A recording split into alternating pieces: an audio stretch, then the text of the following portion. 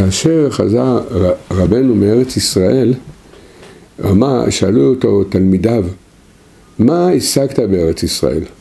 וידוע שרבנו השיג השגות מאוד גדולות בשעה שהוא היה בארץ ישראל.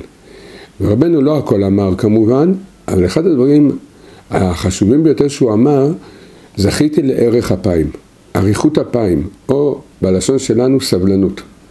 אומר רבנו שאחד המידות החשובות ביותר בעבודה הרוחנית שלנו זה סבלנות. בשתי בחינות העניין של הסבלנות. אחד זה לא לכעוס ולא להקפיד על מי שמצער אותנו, מבזה אותנו, מדבר אלינו לא יפה, מקשה עלינו. לסבול את זה, כמובן, כל אחד לפי יכולתו, אבל להשתדל לקבל ב, ב, ב, בסבלנות את מה, ש, מה שמתנהגים אלינו לא בסדר.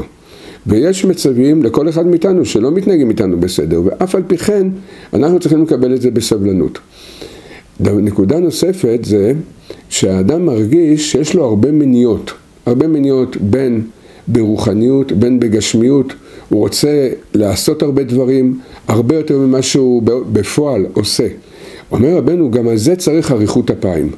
סבלנות גם על מה שיש לנו קשיים והתמודדויות. כי לזכור שהקדוש ברוך הוא אומר לנו, לא מחשבותיי מחשבותיכם. אנחנו לא יודעים היכן היא ההצלחה האמיתית בחיים. האם להצליח עכשיו? אולי הפוך, זה שיש מניעות, זה מוליד את ההצלחה האמיתית, ובדרך כלל זה באמת כך. לכן, אחת, אחת המידות החשובות ביותר, זה כמו שרבנו אמר, בארץ ישראל קניתי ערך אפיים, לא להקפיד על אף אדם, ולקבל בסבלנות ובמתינות את מה שעובר עלינו. הירשמו לערוץ של הרב ויישארו מעודכנים.